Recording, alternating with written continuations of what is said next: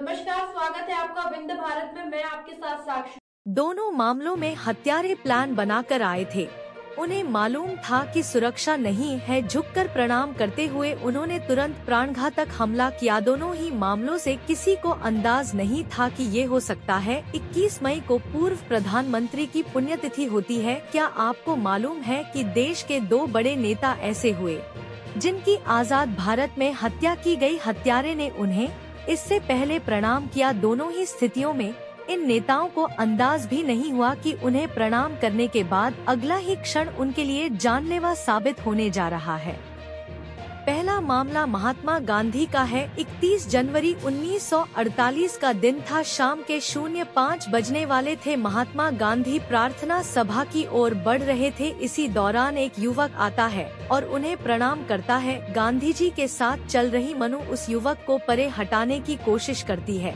भाई हटो गांधी जी की प्रार्थना सभा का समय हो गया है। उन्हें देर हो रही है। जब तक वो इतना कह पाती, तब तक वह युवक गांधी जी के सामने झुका ही हुआ था। अचानक वह उठा और उसने वहाँ से पीछे हटते हुए पिस्तौल को सामने किया और गांधी जी के सीने में दनादन तीन गोलियाँ दाग दी। गांधी जी हेराम कहते हुए गिरे। फिर कुछ ही समय में उन्होंने प्राण पखेरु छोड़ दिए। गोडसे ने अदालत में फिर बताया कि उसने क्यों गांधी जी को झुककर प्रणाम किया था, जैसे जैसे मुकदमा आगे बढ़ा तो नाथुराम ने अदालत में बोलना शुरू किया। उसने पूरी बात को धर्मयुद्ध से जोड़ा। उसने कई बार भगवत गीता को उद्धृत किया। लोगों को अचरज था कि वो गांधी को मारने से पहले उनके आगे झुका क्यों था, गोडसे ने इसका जवाब यो दिया।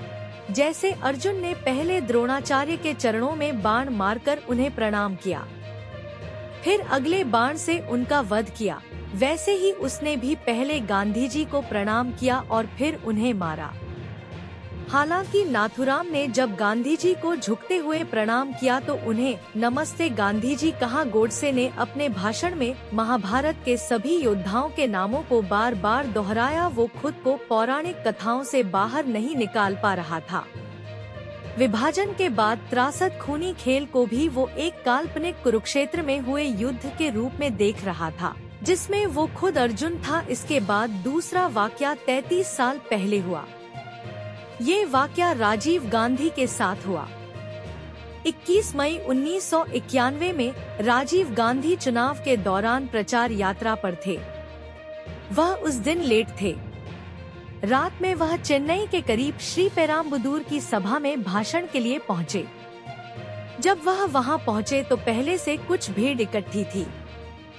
अचानक दूसरे लोगों को पीछे छोड़ते हुए एक युवा लड़की आगे बढ़ी, उसने भी झुककर राजीव गांधी को प्रणाम करने का उपक्रम किया। राजीव गांधी उसे उठा ही रहे थे कि उसने अपनी पीठ में लगे बम का ट्रिगर दबा दिया, तेज विस्फोट हुआ।